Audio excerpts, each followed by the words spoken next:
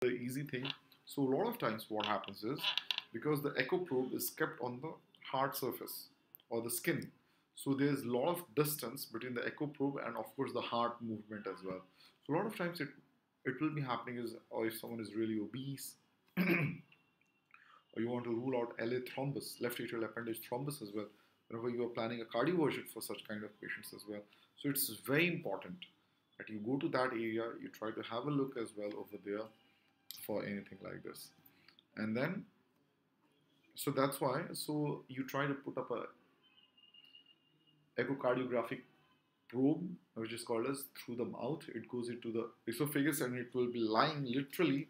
So if this is the heart, if this is the heart, so literally your esophageal probe is just behind it. So literally this this is the finger, so it, it, the probe will be over here. So you try to see. And as I had said, a lot of indications are there. So what are some of those important indications over here, which we can see it?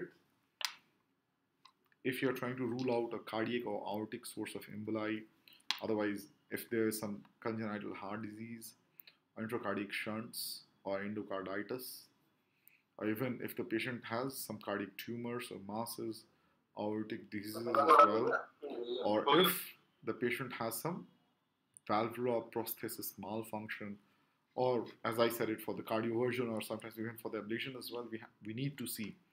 But right now, there has been slight modification in the indications regarding the ablation setting. So what they have said it, if the patient is already on NOACs, regularly taking it without any stopping, continuous NOACs, then no need for TEE at all. So that's something important change. Anyways, otherwise you are not able to get adequate transthoracic echo images. Otherwise you want to correct the position of the IABP. And you also want to examine the mitral valve pre and post repair. Similarly, intraoperative evaluation as well when your procedure is going on you want to see how is it happening to the valves so that is the other time as well you can try to go through it actually so now what about the contraindications when you should not be doing any transesophageal echo so absolute contraindication is there's an uncooperative unwilling patient you should not the will or the consent of the patient is always the first priority. That is an important factor. Then, similarly, if the patient has esophageal obstruction or esophageal diverticulum, or the patient has perforated viscus, or even re- recent esophageal or gastric surgery, or there's instability of the cervical spine, or the patient has had active upper GI bleed actually. So there are some similarly, like all the fields, there are some relative contraindications as well. So which you can already see over here as well. So like severe cervical arthritis, non-bleeding esophageal varices, or significant oropharyngeal distortion, severe cardiopulmonary distress, or extreme oropharyngeal muscle weakness or severe coagulopathy. So, in these conditions, what happens is you need to assess those patients. If everything is fine, you can think you need to always weigh the clinical outcomes. Is more beneficial or you know some problems are going to be there. So that's why it is called as relative. So these are not absolute but relative contraindications. So you, you have to think about it. What could be the possible consequences as well? what are the benefits for the patient and accordingly then you can try to proceed further and yes it's not without any complications there are some problems. We have come across some of the patients as well who have developed some complications as well. Complications can be really difficult to manage. Some of those patients can easily be injury of those areas as well. Uh, any of these areas, whichever is there in the neighborhood, the dental injury, parotid gland swelling can be there, upper GI bleeding or hematemesis can also be present, or dysphagia, vocal cord injury, or hypertension, or vomiting aspiration, or even sometimes aortic dissection or methemoglobinemia also can happen according to all these patients. So one must be careful while trying to manipulate this TEE probe as well. So whenever you are trying to do a TEE, what are the important things you need to keep in mind? So any dosage, whatever you are trying to use for sedation, you should also have an antidote as well for that. So what are the antidotes? For morphine, you have naloxone.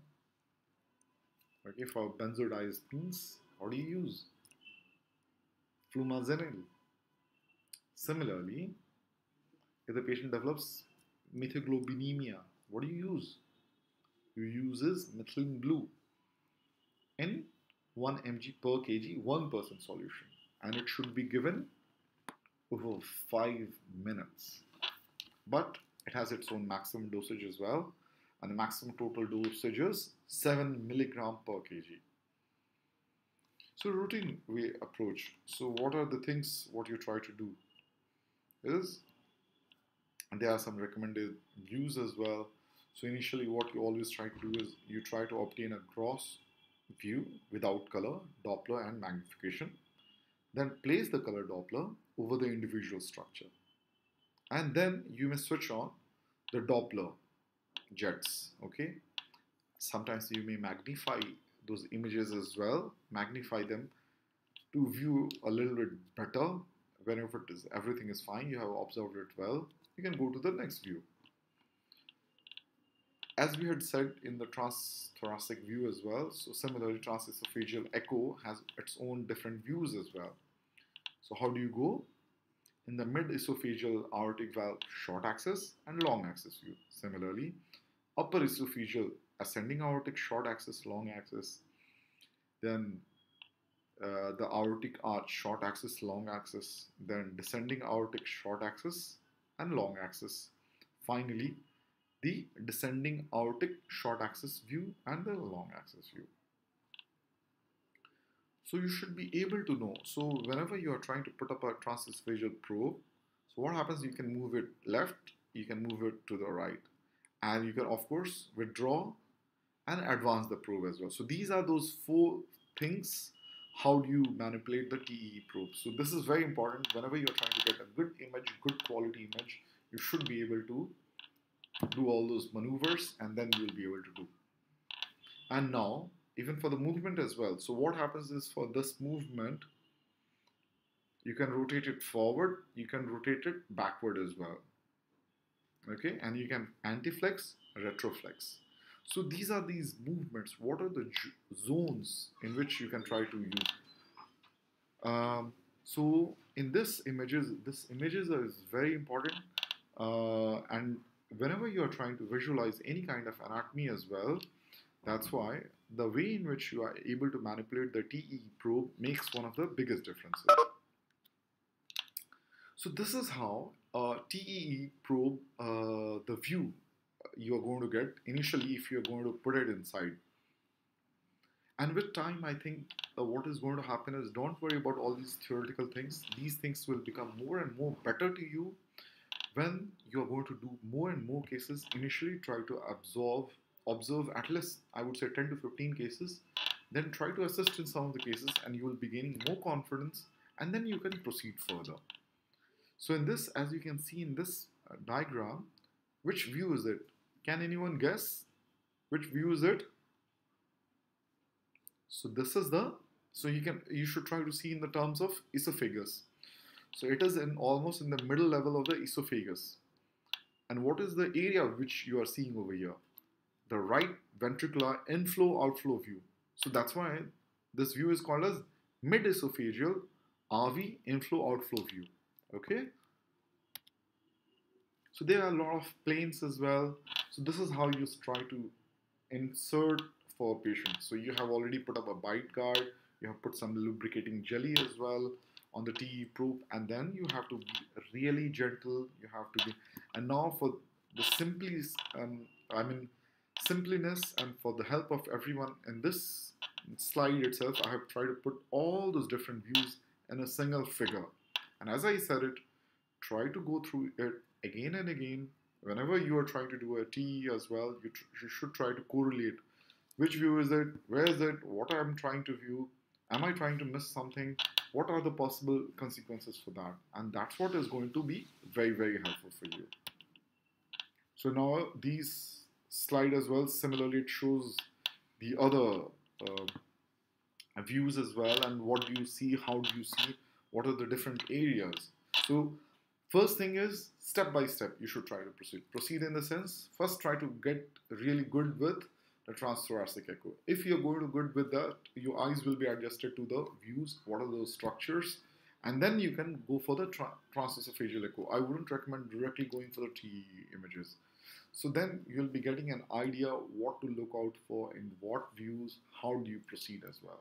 So this is another important slide as well. I really want you guys to be thorough with those views in fact. So what do we see in this image? What do we see? Anyone wants to comment?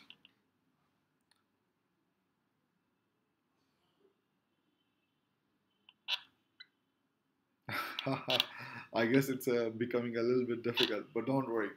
Uh, I won't take much of time. So what do we see over here? So we can see over here at least uh, at same level, right? So, so where is the TEE probe possibly? It is in the mid-esophageal two-chamber view, okay? But you will have to keep on going around in different different planes. So different planes, how do you go? Those you will have to keep on changing these angles, which you can see from here, 60 to 90 degree. And then you will be seeing everything and all. And then you can also try to see for the left ventricular diameter as well. And this is, I think, I hope everyone remembers from the transthoracic echo what we had said, how or where to take those measurements. Same way, this view as well. So these are the different views you have to go through. What do you notice? How do you notice? You must be able to tell about those findings as well. And these are the RV dimensions. One, two, three. Similar, these dimensions are very important if you're planning up a surgery, you have a planning of intervention, or anything as well. So I'm just trying to give you a little overview what needs to be done. I'm not going to really, you know, bore you guys enough. Okay? So these are the images. I would really suggest you guys just go through all these presentations. What are the different views? This anatomy is very important in the sense, especially for the mitral valve repairs or surgeries. No, they'll be telling literally M1, M2, A1, A2, A3, or A0. So you should be able to know which are those areas, how they have taken it, which view was used. So it will be very very helpful for you. So that's why I was telling no A1, A2, A3, P1, P2, P3. Which segment has to be targeted? Which area has to be uh, attempted for for what kind of surgery.